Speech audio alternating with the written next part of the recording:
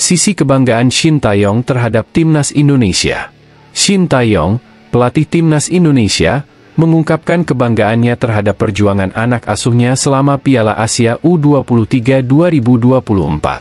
Sejak menjabat pada Desember 2019, Shin Taeyong telah membuat banyak keputusan penting.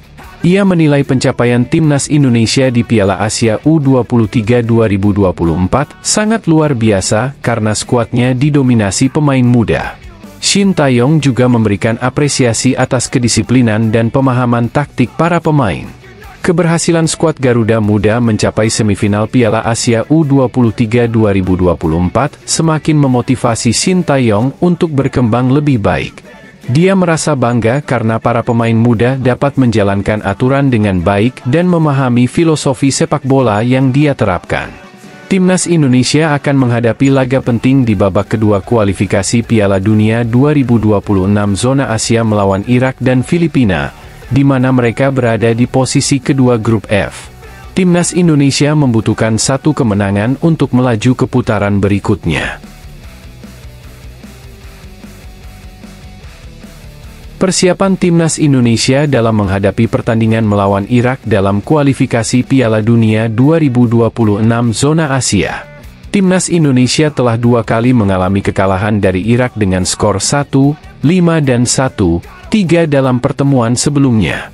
Untuk menghadapi pertandingan selanjutnya, pelatih timnas Indonesia, Shin Taeyong, melakukan perubahan dalam skuad dengan menambahkan beberapa pemain keturunan baru seperti Jai Idzes, Ragnar Oratmangoen, dan Tom Hai untuk memperkuat tim.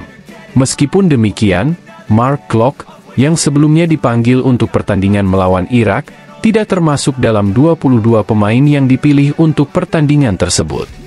Mark Klok memberikan penilaian bahwa timnas Indonesia harus memiliki mental yang kuat menghadapi Irak yang memiliki penguasaan bola yang baik dan bermain secara fisik kuat. Meskipun tidak dipanggil, penilaian dari Klok diharapkan dapat membantu pemain-pemain baru yang dipilih untuk timnas Indonesia. Pertandingan ini diharapkan menjadi pembelajaran berharga bagi timnas Indonesia, dan diharapkan mereka dapat memperkuat permainan mereka untuk menghindari kekalahan ketiga kali dari Irak.